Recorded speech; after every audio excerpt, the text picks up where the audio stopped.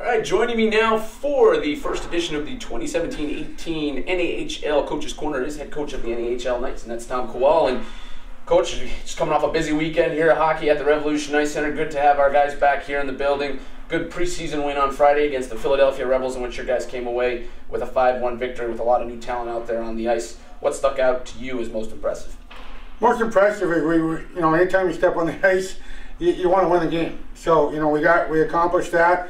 We got some of our newcomers that never played junior hockey a game, and more importantly, whenever you can beat the Philadelphia Rebels, you know, it, I'll take that anytime I can get it. You know, that opportunity doesn't come around very often, but you know, I, I am very excited what I saw.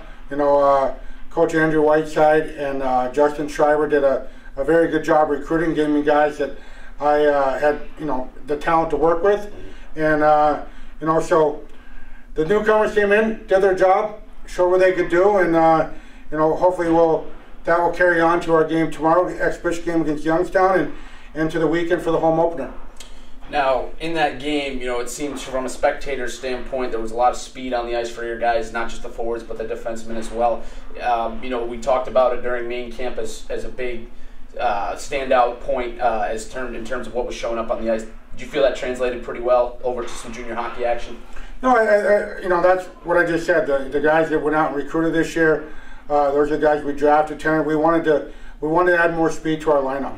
Um, you know, I mean, with all these, you know, penalties being you know more severe and you know the safety of the game, which you know I, I agree with. You know, you don't want players getting hurt, so they're kind of taking away the the physical part of the game a little bit, and when that happens, you got to have speed and play hockey. So, at the end of the day, I was very happy with the speed we got.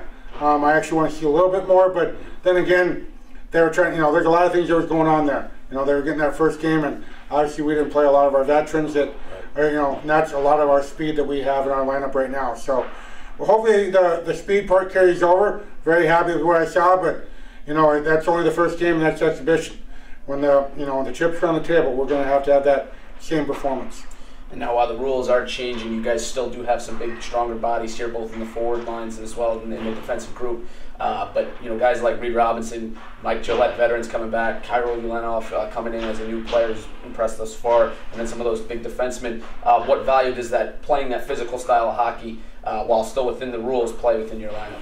Well, anytime you got speed, you got to have some meat and potatoes. You got to have some muscle to to balance out those lines. You know, I mean, it's you know hockey still is a physical game. It's still a contact sport.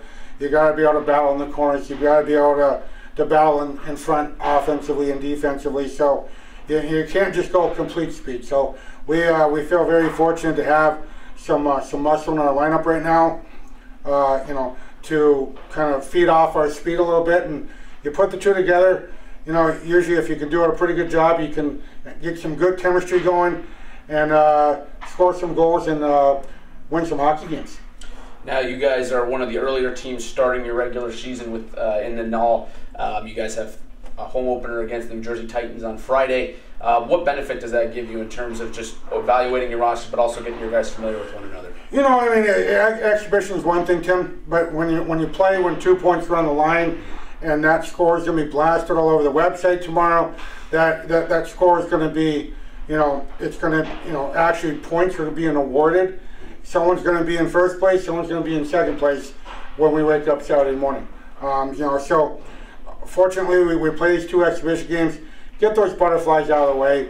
You know, we'll have two exhibition games, we'll have two regular games under our belt going into Blaine. Uh, obviously, Blaine's a big showcase.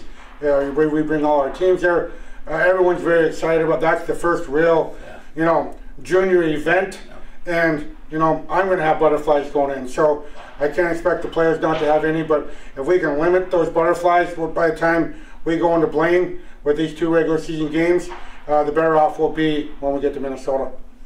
And Minnesota's coming up fast. It's the Blaine Showcase. You touched on it already. It's a big deal, obviously, within the world of hockey. Uh, but just any advice you give these guys already, more the newcomers than the veterans, uh, but as they head to their first showcase, what kind of words of wisdom do you give them? You know, it, it's still hockey. You know, everyone's putting on their gear the same way go have fun. You know, I mean, the biggest thing we, as a staff, we've been instilling into our, our players that we have in camp right now is you, whatever you did to get here, keep doing it. That's what we liked. That's what got you here. That's what kept you, you know, around in the camp, to, you know, to, to, to end training camp and start the regular season in the lineup. So go do it. You know, I mean, it's hockey's a fun sport. You know, as soon as you learn the, you know, or you lose the passion of hockey, you're not going to be a good hockey player. So we've been really instilling just to have some fun. Um, of course, winning is fun, Yeah. but more importantly, just be a hockey player. Make plays. Don't you know? Be who you are, and uh, everything will. You know, when you go to bed at night, it'll be. Uh, you know, you can really go to bed thinking that you had a good day at the at, at the rink, whatever rink we're playing at at that time. Now, and if you'd like to catch the Knights before they head out to Minnesota for the Blaine Showcase, they will be playing at home here at the Revolution Ice Centre on Friday, September 15th at 7:30 p.m. You can call in advance to order tickets at 570-883-1100 or email info at revolutionicecentre.com. Keep in mind that center is spelled with the R-E at the end, not the E-R, as well as check out the Knights news and all things Knights happening online at www.wbsknights.com as well as our Instagram, Facebook, Twitter, and YouTube accounts.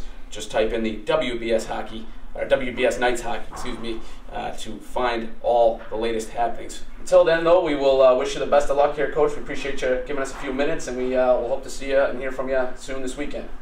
Looking forward to it, Tim. Thank you very much.